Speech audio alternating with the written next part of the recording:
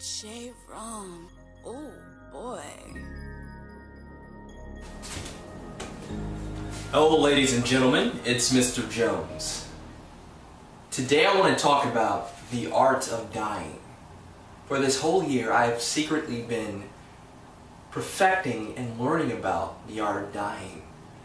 And I, I'm telling you, it's an incredibly freeing experience. In order to succeed, you have to let go of habits and thought patterns that were not serving you, that simply weren't getting the job done.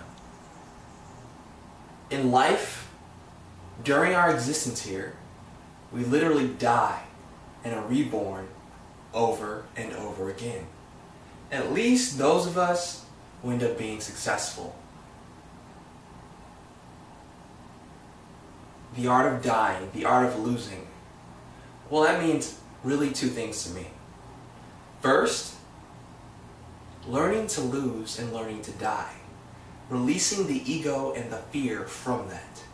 Because anything that has mystery, anything that's shrouded in mystery, and that has your ego tied into it, well, it weakens you. And it stops you from progressing.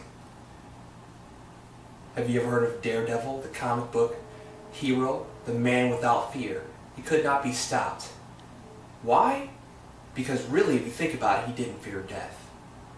Now, if you accept that losing and death are a possibility, right? In the situation, you will do everything you can to succeed. So not only are you releasing your ego and releasing fear and no longer having a forever mentality like you have all the time in the world because you don't. You go and you achieve your objective viciously. Viciously.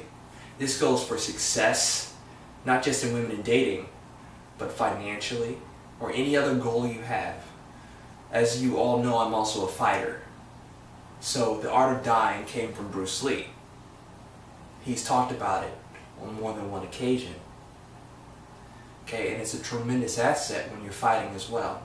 When you're talking to a woman that you're very attracted to, okay, and the conversation is going well, are you going to have a great conversation and then possibly never see her again?